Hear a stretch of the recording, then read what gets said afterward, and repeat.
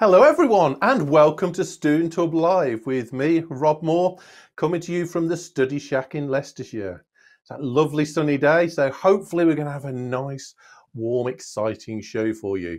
Today, we're going to be talking to my colleagues from the Faculty in Business and Law. That's my home faculty, so I'm always pleased when I, I talk to my colleagues. Um, in the chat, we've got Sam and Kevin and they're going to be answering your specific questions. They'll be giving you some hints and some tips. So you'll recognize uh, when they post a message because they will have SHL in front of their names. And of course, we've got Heidi with us, and Heidi's going to be passing your messages on to me and telling us the things that you're already talking about. So, Heidi, who have we got in the chat box and what are they saying at the moment?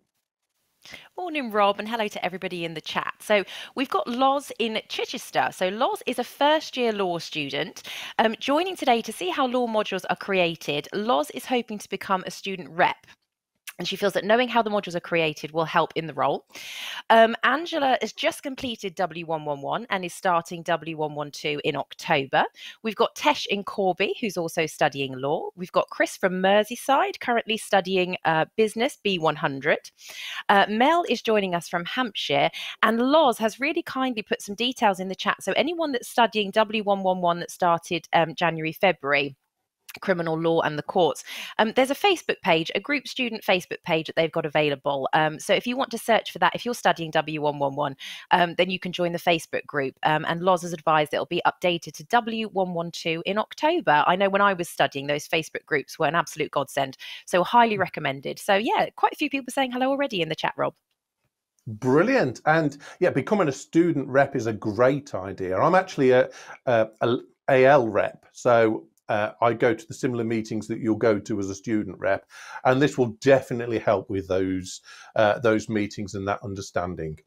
So, a couple of ways to get in touch with us today. You can email us, and the emails on the web page, or you can join in on the chat or the widgets. Now, the widget we've got at the moment, the little thing on the right hand side of the screen, is a multiple choice question asking which degree you're doing. So let us know which of the degrees you're actually studying at the moment. And there's a little ticker going across the bottom of the screen. That's a question we want you to consider and answer in the chat. So what sort of things do you consider when you're selecting your next module? So we'd like to know what you're thinking about. Well, my guests today from the law school are Fred and Sarah. Uh, welcome both. Uh, Fred, um, that joins me in the study sessions on Student Hub Live. So those who've been to some of our study sessions will recognise uh, me and Fred as a partnership from there. So great to have you with us. Uh, we're going to start off with Sarah. So Sarah, when you put a degree together, how do you choose the module topics that go into the degree to make sure it's um, it's fully rounded? What do you think about? Thanks, Rob. Morning. Um, that's a really interesting question at the moment, actually, because as you probably know, and as many of our students know, we've been through the process recently of developing our new LLB, which has been very exciting. But we have had to really think about what modules are we going to include on that degree um, and, and how is that going to be structured? And as as many people will know, there has been quite a lot of restructuring, quite a lot of changes. So, what did we consider? Well, law is um, it's a very professionally driven qualification. So we have to consider professional requirements. Um, and there have been changes there recently as well. So students who are looking to become solicitors, for instance, will be aware that there have been recent changes um, and that they're now not required, unless they're in Northern Ireland, of course, they're not required to do the qualifying law degree and they'll go on and do the SQE modules. Um, however, students who are in Northern Ireland and want to be a solicitor will need their qualifying law degree subjects and and they will need also to do evidence as well. Uh, and students who are budding barristers, again, are going to need to do a, a certain set of subjects in order to enter into that profession. So we have to really consider that when we're putting our degree together. Um, and additionally, we have a lot of uh, joint degree students. So we have students who are studying law and languages, we have students who are studying law and criminology, and we want to make sure that the program fits together nicely for those students as well, and that they're studying things that are useful to them, and that they're studying in a way which um, has some great continuity in the pathway that they're following. So all of those kind of practical considerations, first of all. Um, yeah. And then we really have taken into account the uh, the student feedback we've had. So we know from students that they wanted to see more choices in their degree pathway. They wanted to have um, more options, and we've tried to introduce that. We have introduced it at level two, particularly, um, where students, instead of studying two 60 credit modules, will now study four 30 credit modules and will have those options about the sorts of topics they want to study. They've got much more variety. Um, so they can study, for instance, family law. Um, employment and business law. They can study evidence law, even if they're not uh, doing the Northern Ireland qualifying law degree. Evidence law is there as an option for them, and that's a really popular option. It's a great module.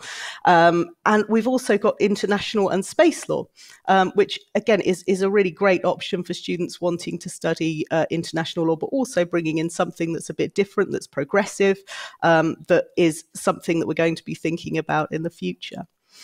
Um, what else? Just to be clear, uh, so different professions might require different modules to be chosen in the degree. Is that right?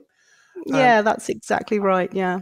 And how do students know they're doing the right thing? Where will they find that information? Mm, they should talk to student services. So um, SST are really, really knowledgeable about this. And what we have done um, as a team is we have provided regular updates to SST throughout the development, um, and we engage with them really regularly. And they come to us with questions and they ask us questions. But they have really great and up to date information about the different pathways, so they can give great advice. And and the feedback I've had from students is when they when they talk to SST they know they know what students need to do um, in order to progress on their pathway. And if they don't, they'll contact me or Fred or someone else on the team, um, and we can talk yeah. to them about it. Because I think that's that's the key thing. We want students to be confident that the, the degree they get is going to take them to the, the point they want to get to in their career. Because uh, I am I right in thinking most people studying um, law are looking for law as a profession? They might be, Rob. Um, so we have a lot of people who go into the legal profession, but the, the law degree is really useful in a number of professions. So mm-hmm. many of our students might be studying law just for academic purposes, um, and, and they may just really enjoy the subject, or they may want to go into academia later. Um, and, and we have a really rigorous program uh, academically as well. They might want to go into another profession, for example, the police or public services or social services. Uh, they might want to go into the civil service. They might want to work in local government. They might want to work in a whole range of jobs um, and professions where law is really great grounding, um, really useful, and very highly valued by employers. So uh, you're right in saying it is very professional in nature, and uh, there are a lot of skills, employability skills built in to help students move into the legal professions. But those skills are really transferable elsewhere. So you really have to, as a, as a module team, you really have to bring into uh, into mind all of these different reasons why somebody might want to study and make sure that you're keeping that all accessible as well as fitting it into the time and making it interesting because of course we want an interesting qualification to study. Uh, so should we have a quick look at the um, uh, the widgets see what people are studying at the moment so heidi do you want to talk us through what uh, what people are focusing on and what they're saying at the moment yeah, yeah, absolutely. Um, so I'm not sure if people can see the widget okay. If you haven't um, put your details in there yet and, and let us know what you're studying, please do. The widget will automatically update itself. So it looks like the law undergraduate is taking the lead at the moment, and that's what most people in the chat are mm-hmm. studying, mm-hmm. which makes absolute sense. So um, yeah, we've got um, we've got quite a number of um, law undergraduates um, in the chat, and then um, uh, other. Yeah, we've got other. So I'm not quite sure what what other uh, mm-hmm. encapsulates there, but that's uh, that's the second most popular at thirty percent. So please do let us know what it is that you're studying. Um, yeah, so add the details into the widget. Oh, and it's updating as I speak. There we are. More people law undergrad, so that's great to see. Excellent. I think the the other is, is everybody who isn't doing um, business or law at the moment. I think so. Uh, you are very welcome if you're not in business and law, but you should be in business and law because that's where the exciting uh, material sits. Uh, so, Sarah, just a, a, quick question about developing the um, the content. Uh, we had uh, a comment about being a student rep earlier. How do you, as a module team, um, take advantage of having student reps, and how do you bring them into those broader discussions? Mm, student reps are really important to us. So um, we have student reps who sit on our board of studies, and board of studies, in case students don't know, is um, a group whereby um, it's chaired by the teaching director, uh, and we also have other academics, so module team chairs. We have head of student experience, but we have student reps, and we also have reps from um, SST, from uh, careers and employability, to to bring in different voices.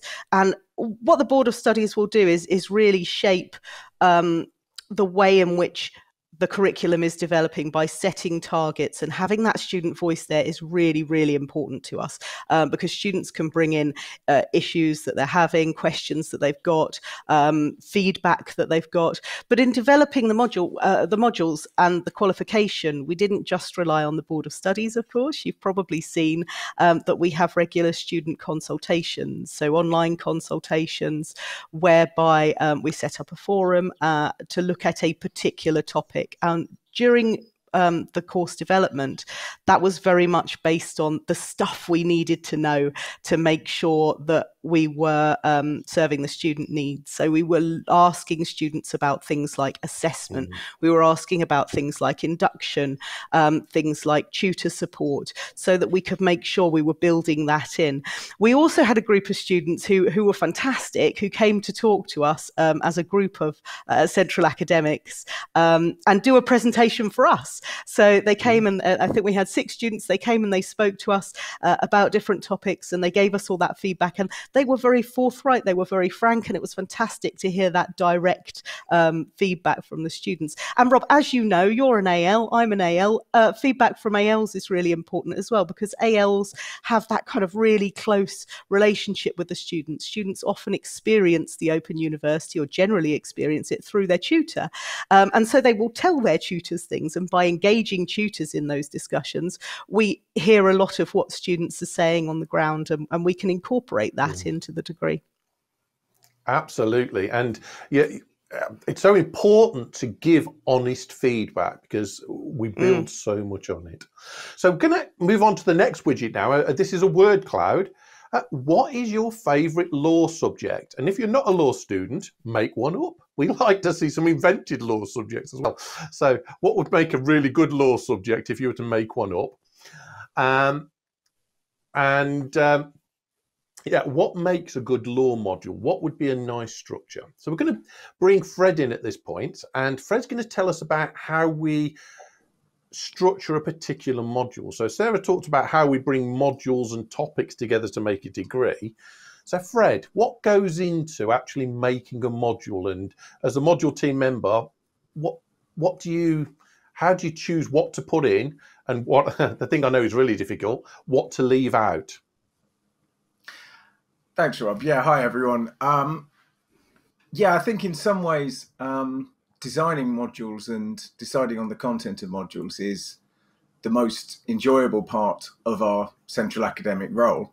Um, as as Sarah mentioned, many of us, um, including myself, uh, are ALs as well, um, and obviously we really enjoy the teaching. But with our our sort of uh, academic hats on, um, deciding what goes in a module is a real chance for us to think about what's interesting, what's important, and um, what will work well um, for students to study. Normally, that's a process that tends to start with the module team chair, the person in charge of the module, and um, the other authors. Um, we we also look at a lot of the same sources that Sarah's mentioned. Um, we look particularly, of course, at the feedback on uh, the previous module. Normally in law, we don't tend to be creating modules from nowhere. Um, we do occasionally add new options, but but normally there is a module that's covered at least some of this ground before. So, for example, on the new degree, um, when when I was working on um, 112, uh, the tort law module, and on 212, the contract law module, we were very much looking at the old W202 and looking at what students liked and what students didn't like. Um, because as, as we, we know in law, there are certain parts of the syllabus that are seen as being very um, set in stone. Um, but what we try and do at the OU, uh, and one of the things we've done with the new degree, um, where we've we've switched from looking at two substantive areas of law to one in most modules, um, we try and include that that extra area where people don't just learn what they have to know, um, but also get a chance to learn perhaps um, what we consider might be more interesting or might be something that they might want to explore further academically or professionally. Okay, so how do you? Um, I, am thinking about if I was studying a module, what I would like to know is how do we make sure that we've got enough time to study it? Because uh, I, I can imagine so many topics fitting them in how do you balance that breadth and depth aspect in a module? What what's at the forefront of your mind when you're when you're choosing them? Is there a, a driving force? Is there a, a, checklist that you go through? Um, it depends to some extent, module to module. Um, but certainly in the law school, um, what I should say straight away is that uh, we do have very strict uh, rules um, in terms of the workload. So each unit is is intended to take roughly the same amount of time, which is the amount of time that we expect students to be able to study each week. Of course, as, yeah. as all of you will know um, who are uh, watching this, not every week necessarily you have the same amount of time to to study, but the idea is that you don't sort of suddenly get to week 12 or unit 7 and it's 10 times more than you were expecting. So, what we tend to do is try and think, first of all, well, how do we balance that out. So, you know, if we have a module with 12, uh, 12 units, what, how can we divide up what we want to cover into 12? Um, and I think what a lot of module chairs do um, is we sort of try and establish what has to go in, and then um, we have the the more enjoyable task of deciding what else we can we can do. Um, and I think one thing we've tried to do really on the new degree is give modules a bit more of a theme um, that runs right through rather than it being a set of individual units. So, yeah.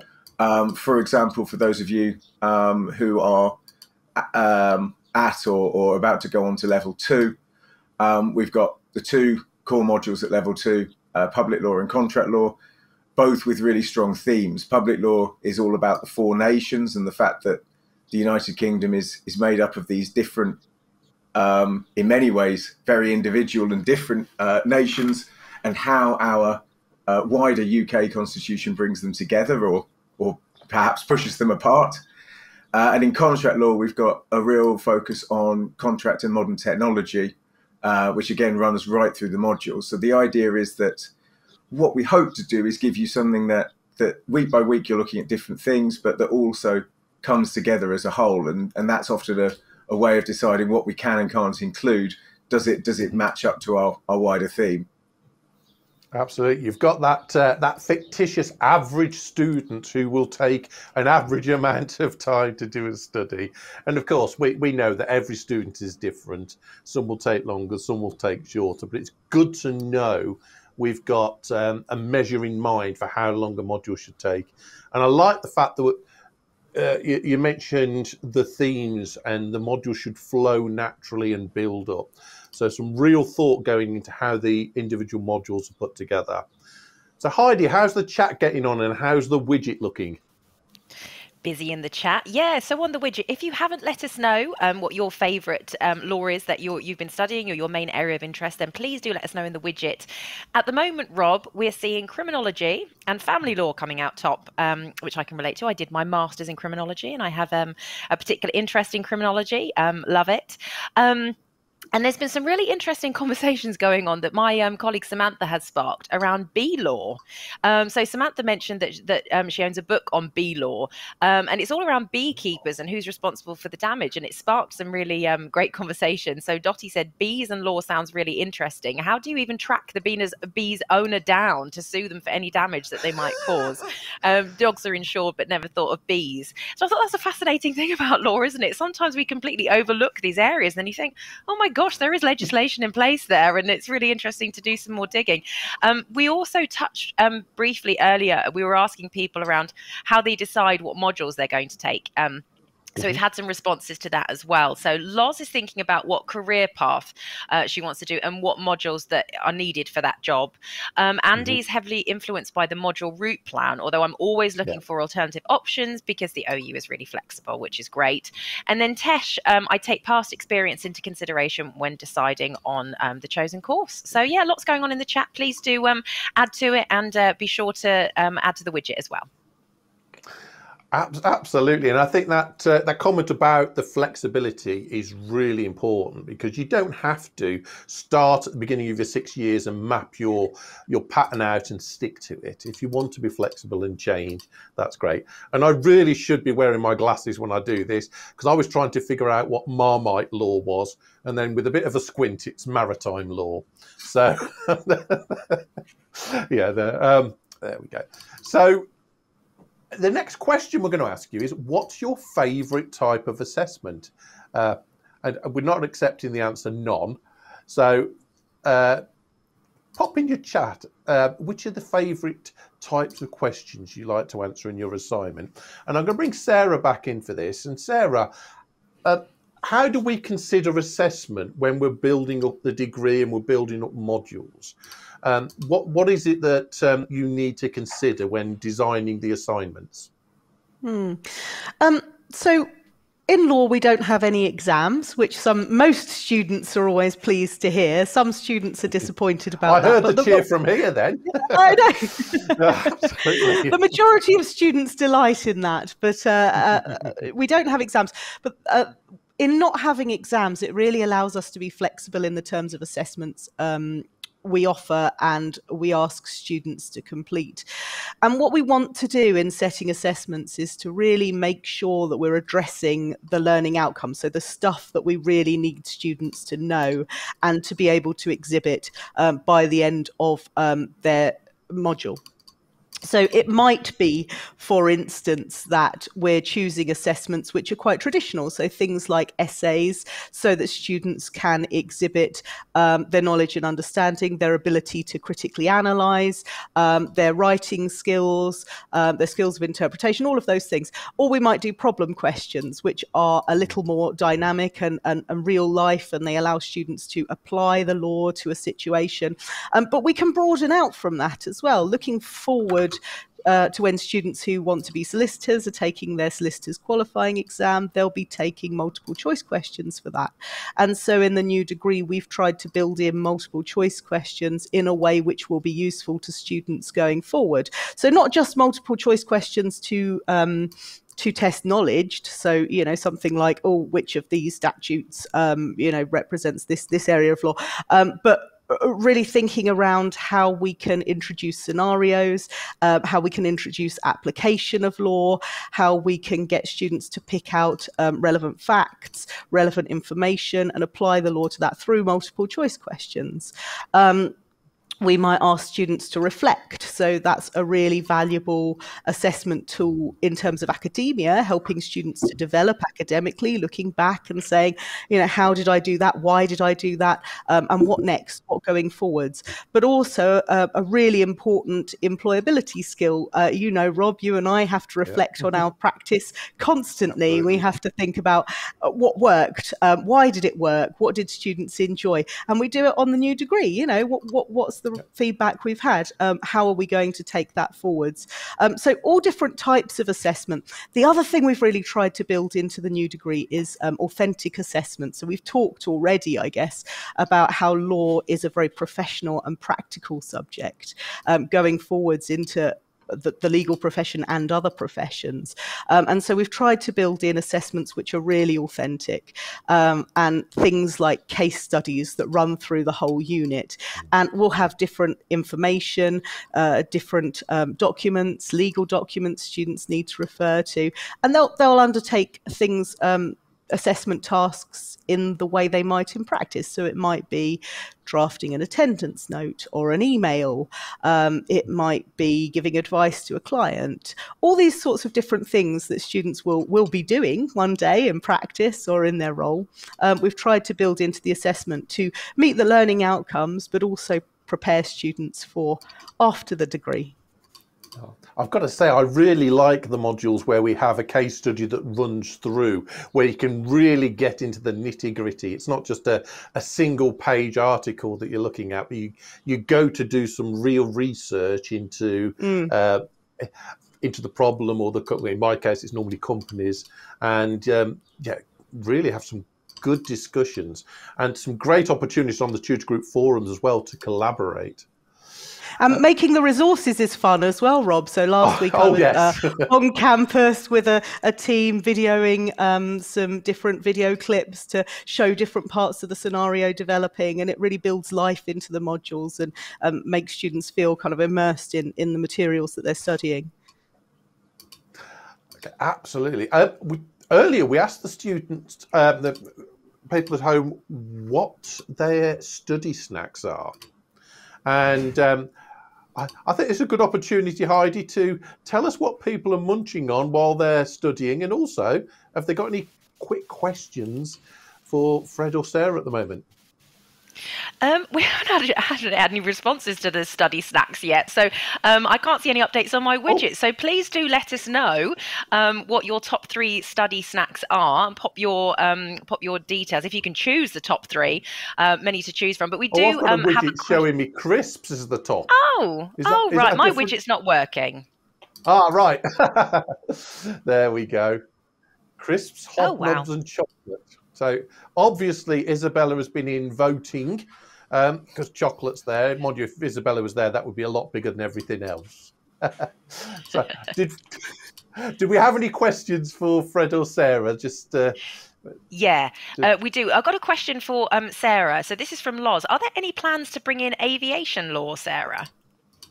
Um, at the moment, no, because we have finished developing um, the modules and, and, choosing the modules that we're going to have on the new degree. That's not to say it will never happen, um, but at the moment there isn't a plan to do that. Um, if you had a particular interest, of course, all of the library resources are available to you. And what I would say is contact the librarians and they can help you find information about anything you want if you want to do some extra reading around a particular area. Um, when I talk to the librarians, they always say to me, oh, we love it when students contact us and ask us for help in finding uh, different research um, resources. So, uh, you know, if it's something you want to read about and it's not on the degree, there are still resources available to you. And do students get the opportunity to do independent research or is it all directed? So can they go and find an area they want to research or is that say for the master's programme? Is that for me or for Fred, Rob? Oh, well, Fred, because we haven't heard from Fred for a while. Sorry, Fred. um, we try and build research skills right through the degree. So um, those of you who are starting off, you'll, you'll know that at level one, um, we very much try and we, we, we, sort of start telling you this is where to go uh, and this is what to look at.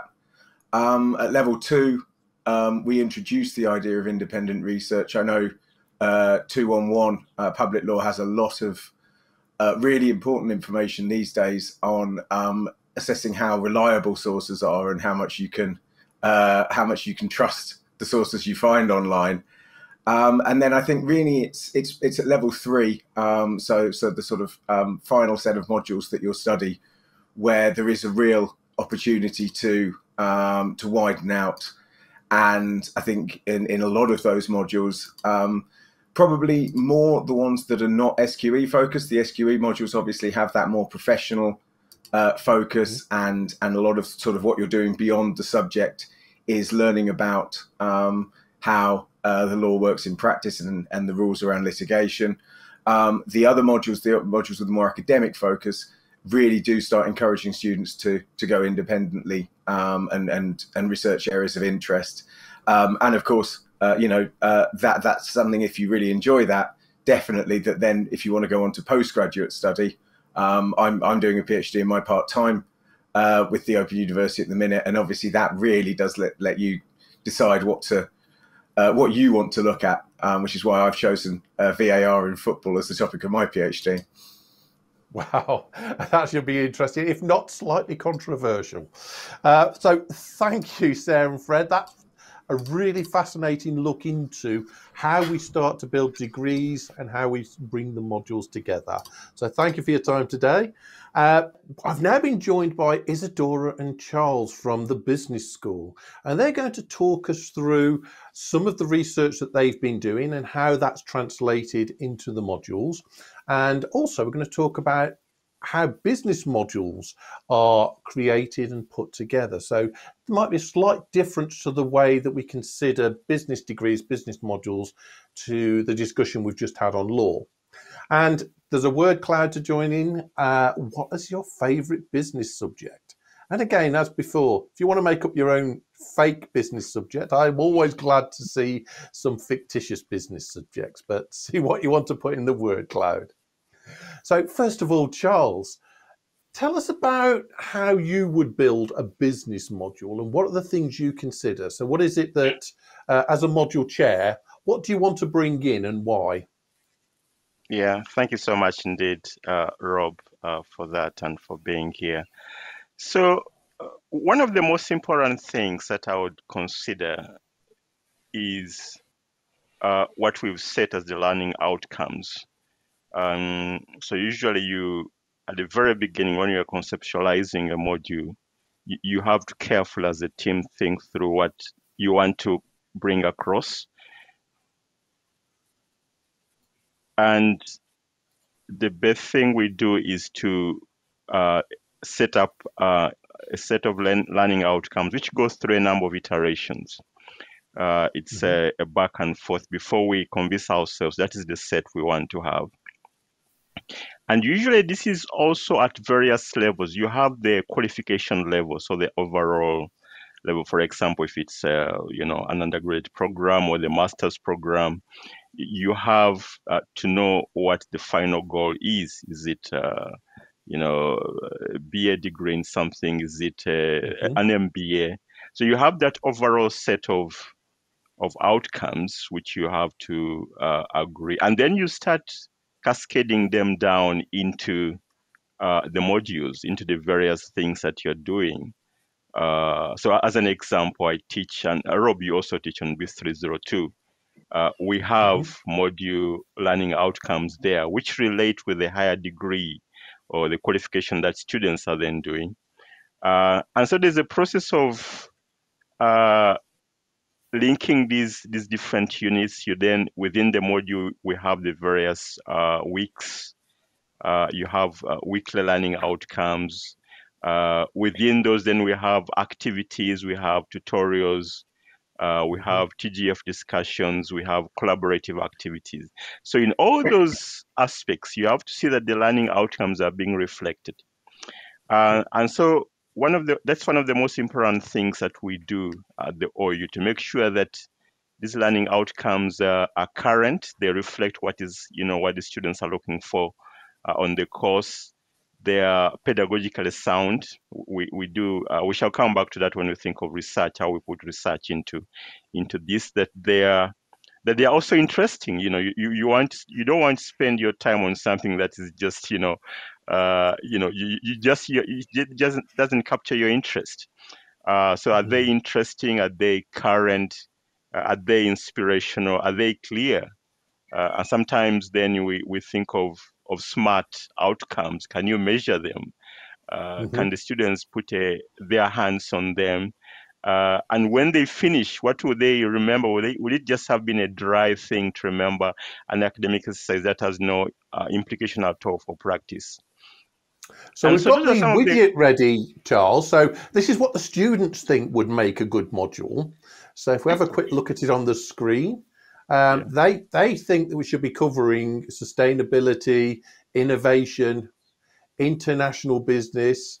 Uh, are these sorts of things that you've covered? Are these, do these crop up in all of the undergraduate modules? yeah, so these are then, of course, um, you'd have to think of the specific ones, like those ones which they have named, definitely. That, then mm-hmm. that, that goes to their module level, where, for example, if it is uh, an international module, it's covering international aspects. Uh, for example, we have a module on the MBA program.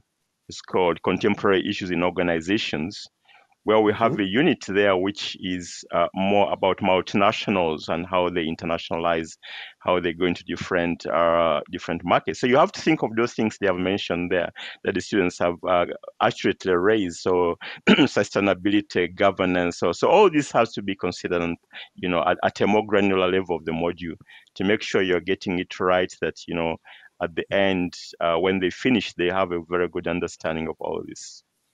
So when we when you introduced um, the, the topic, you mentioned that we both work on B302. That's the the level three strategy course, right. and there's a big element of uh, collaborative working in there. So why do we bring collaborative working into a module? Why why is it important?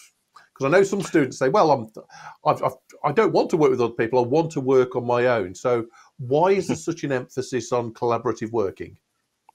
Yes, yeah, that's a very important question. Um, uh, we think in the in the real world of business, you you have to to work with others, both within the organization, uh, but also outside. You know, we talk of, of stakeholders, so internal stakeholders, but also external stakeholders. Uh, you you have to interact with your suppliers, you interact with your even your competitors, you interact with. With the regulators, you interact with, you know, uh, with, with, the general public, with your customers, with so all types of stakeholders you interact with. So there's always a form of collaboration taking place. You you develop new projects with with, with partners. Uh, and this usually calls for interacting with them. It can be face to face, it can also be virtual. You know, you know, using a you know virtual communication tools, uh, and so collaboration is always important. We there are not many things where we we we do things alone. Even on the on these on these courses that we do at the OU, uh, many of the assignments, uh, cons- uh, you know, call for some kind of working together uh, with other students. Uh, for example, in B302, which you just mentioned, Rob, uh, there's that activity which involves a case study of a Scottish company. It's called Uni. Mm-hmm. So here we expect students to come together and analyze analyze that case, go through the process of of creating a strategy and assessing how good that strategy is. Uh, and so that involves that, giving I, feedback, yes, and, and, and you know, yeah. hearing from others. And that collaborative part. Some students find that the most rewarding part of the module and that opportunity to have that realistic interaction with people they might not have met. Uh, right. We're going to move on and talk to Izzy now. Um, so, Izzy, we're looking at uh, your research into gamification and how we can bring uh, games into modules. And there's a new widget what games would you like to see in a module? So let's see if we can give uh, is there some interesting uh, ideas for future modules. But but tell us about your research because I know I've been involved with your research as well. Um, tell us about your research into gamification and why it's important when we're considering new modules. Thank you very much, uh, Rob. And let me tell you that we really count on everyone's support when we do this kind of research that fits back into the module, both when it comes to the academic team, to the ALs, and the students, of course. Um, so I have been involved in different kind of mod- of uh, research that does fit back into the modules. And uh, one of the most recent one is the one that you mentioned, the gamification. Uh, so we're looking with another colleague from the OU and uh, the use and the impact of simulation games in FBL modules, particularly in undergraduate modules. And uh, the main reason for doing so is that we, we know that several research has proved that when it comes to teaching complex subjects like uh, theories, models, perspectives, and most importantly, practical skills, it's easier for the students to grasp this kind of context and practical skills uh, through games. So by playing a game, uh, they are able to learn in depth and more successfully all these uh, kind of concepts that in theory uh, they, they, they are difficult to grasp. And then it comes the practice through the simulation game when we can actually apply this knowledge and make sure that you do understand how it is applied in a somehow real context environment.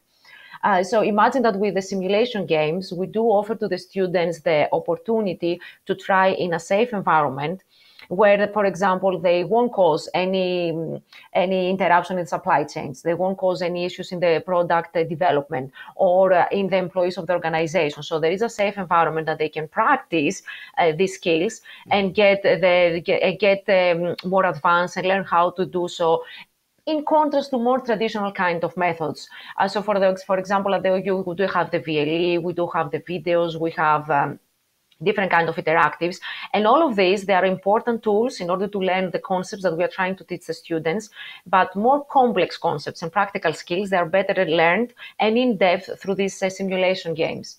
And uh, what we have tried to do is that uh, we did work with this uh, particular module b205 and b205 is an undergraduate level module in entrepreneurship. So in b205 we have the neo game. And neo game is um, is a negotiation game uh, that maybe you can tell more about it, uh, Rob, than myself, but uh, I will just give a brief summary of it. It's like a negotiation uh, game. And this is where the previous discussion on collaboration comes on board as well, because we do see the collaborative element as very important for the students to be equipped and to learn how to work with others. So we do have this negotiation that takes place with uh, another student from the module, and the students have different kind of scenarios and they negotiate the outcome of the, of the scenario. Uh, so they have the possibility to play the game a couple of times until they polish their negotiation skills in different kind of contexts and with different kind of scenarios. And what we tried to do as a team in our research was to explore whether the, the use of NEO is effective, how NEO is incorporated in B205, and whether it should be incorporated and under what conditions in the new uh, version of the module, which is going to come, mm-hmm. and that's uh, the B209. And uh, allow me here to take the opportunity, Rob, to mention something which I think is very important that at the OU, we make sure that all the modules are current and they stay current throughout their life. So we have B205, which is a successful module. It runs smoothly, and uh, the student seems to be very happy with this module. And despite of that, uh, there is a particular uh, element, uh, which is after a, a, particular period of time, we do renew the modules, even if they are very successful, even if we don't have any issues, we don't have any complaints about them. Because at the heart of the OU is to keep the modules uh, current, to keep the debates current, and to incorporate all the changes from a theoretical, practical, case point perspective and so on. So we have B205 that now we're going to, uh, to update in B209. And with our research and by talking and collecting data, both uh, from the students, uh, from the academic member of the team, which is uh, on the production, on the presentation side, along with the tutors, we're coming back with some recommendations in terms of how the simulation game NEO should be included, because the overall conclusion is that NEO is very successful and overall simulation games, they do work very well and they do enhance the overall student experience and learning in the module material. So we're coming back with recommendations in terms of where NEO must sit in the new module, uh, for how long, where it should be placed, and so on.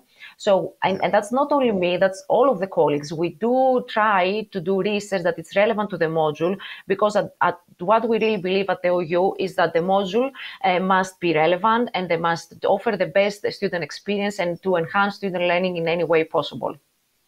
Absolutely. And, and you're right, NEO is a great activity where students anonymously engage. And because it's anonymous, you can take on different personas, try different um, approaches in a safe environment. So Heidi, we've got some suggestions, I think, for different games that could be included. So what sort of things would uh, would the people at home like to include in a module?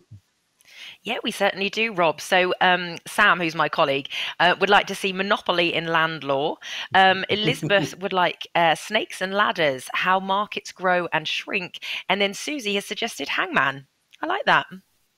Excellent, excellent. And to the the sort of games that uh, we've just been discussing, a lot of them are actually available on Open Learn. So another module I work on, which is supply chain management, has the supply chain game. And that's available for anybody to play. A, a simplified version of it is available for anybody to play on Open Learn. But we use it as a significant element within um, that particular module. Uh, I'm going to move on to, to, Charles again. So, Charles, I know you've been doing some research recently, and you've been your research is um, is being used as a significant case study in a module. Would you like to tell us a little about that? Yeah, thank you so much indeed, um, Rob. So yeah, that, that's true. And and picking up on that point that Isidora was mentioning, that we we try to use research as the foundation uh, for all our modules. So I've been doing some research in the energy sector. Uh, I did my my uh, PhD uh, on uh, reforms in the energy industry on the African continent. So I looked at, you know, the privatization of various uh, dam projects. You remember, traditionally governments have owned these uh, power uh, dam power projects and, and energy, both generation, transmission, and, and distribution. So uh, with perform uh, market reforms that have been taking place, governments have been trying to uh, unbundle. We, we, we, use the term called unbundling, you know, and making it more private and, and bringing in economics, you know, in these things. So I've been studying a lot around, you know, that energy sector in various parts of the world. Uh, uh, and also uh, recently I've been doing a lot in about uh, renewables, so solar, wind, uh, biomass, mm-hmm. how we can use the, this a bit more to, you know, to improve access to energy in various parts of the world. Uh, and so um, in B302, if we go back to that example, we have a case from Uganda, one of the dam projects. Uh, it's called Bujagali. Uh, we use that as uh, to understand especially something called non-market strategy. So there are many things when you're developing such a project that are not only uh, related to market considerations, but also non-market consideration, which means the interaction with with uh, political actors, with social actors, with environmental actors. And this particular project uh, is on at the source of the River Nile, and it was very very controversial uh, because it would have it, it meant uh, actually flooding a whole area and flooding uh, very sensitive cultural sites. Uh, for example, which have been had been there for, for centuries. People, you know, around that part of the world have been uh, in some cases using it as their religion and you know cultural beliefs and so on. So it was a very very controversial thing to do. Uh, and the mm-hmm. companies, the multinationals involved, had to do a lot of interaction with uh, the local people, with governments, and various actors. So we use this case mm-hmm. to try to explain how companies can develop their CSR strategy uh, right. and how they can do that effectively and deal with all kinds of, of challenges. And that we also say that uh, this is an important aspect to to add to market strategy that we normally use traditionally in, in teaching strategy. Uh, and so we have that. It's so important that uh, that we're taking this the current research, this up to the minute research, and we're embedding it within our modules. So your current modules, and uh, as we said earlier, it's so important to be up to date and right where we need to be in current. So thank you for that, Charles. Uh, I've just no got one very quick um, uh, quick question for Isadora. Uh, and if you can do this in a couple of minutes, that would be great. Uh, how do how do we make sure that our modules are accessible?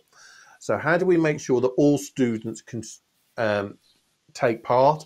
And as a module team, what's going through your mind as you're designing the module in terms of accessibility? Uh, okay, so that, that's a very important question to be answering in, uh, in, in, a couple of minutes. I will try my best, Rob, though. Uh, you know, um, accessibility, equality, and diversity and inclusion is, is, is again at the heart of the, of the OU. And it all starts from the production process, as you said. But even, even beyond that, we, we have to make sure that we have the right teams put in place in order to produce the mm-hmm. module that it does uh, it, it is it is open uh, to all students so what we what we usually do, and I will give you an example from B three to nine, which is an undergraduate module, um, a leadership one. When when we selected the production team, we made sure that we had a team that was coming from different backgrounds, not only uh, disciplinary backgrounds, uh, because we do have experts in this team uh, that are they are experts in leadership in SMEs, leadership in entrepreneurship, leadership in organizations, and so on but it was also a multicultural team. Uh, so this is a team of uh, from the UK, from uh, people uh, from Italy, and from Greece as well. So we all brought our expertise and our cultural background when we produced B3 to 9 to make sure that this uh, multi-diversity team is actually, uh, the, the, the nature of the team is reflected on the module material. We make sure that our cases, the videos that we use, the examples that we have into the module, they do actually address uh, students from different backgrounds, both male and female. Uh, we have to make the modules accessible to students with disabilities. And we do make sure that not only when producing the module with the material that we produce, but also during the presentation, the modules, they do work well for all the students. Uh, so mm-hmm. we do have the equality, diversity, inclusion, accessibility champions in our I am, for example, the the champion for B3 to 9. And my role is to make sure that the material uh, responds to the needs of the students uh, currently and uh, b- during production, but now during presentation as well. We do have the inclusion curriculum tool, which is again another tool that we use for new and uh, older versions of the modules to make sure that all the material reflects the students' needs. So it does come to the team that brings this together, uh, the module, the material, and also the material itself. So as I said, the case studies, the videos, uh, the, the, the all the interactive activities, the examples that we use, make sure that they are multi-disciplinary uh, and also multicultural as well for, for the students. Absolutely. And it's so good to know that we've got specific teams looking at these uh, equality and accessibility issues. So it's not an add on that goes on once we've written the module, it's considered right at the start. How are we going to make this accessible? Are there any specific needs that we need to address? Are there things that we need to bring in? So you did fantastically well to get through all that. Uh, um, so thank you very much, Isadora.